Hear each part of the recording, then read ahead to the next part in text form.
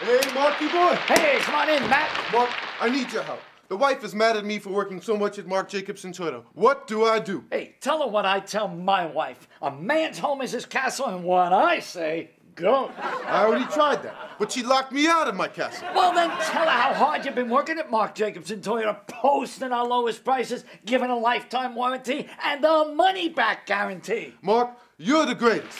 Mark Jacobson Toyota. For all the right reasons.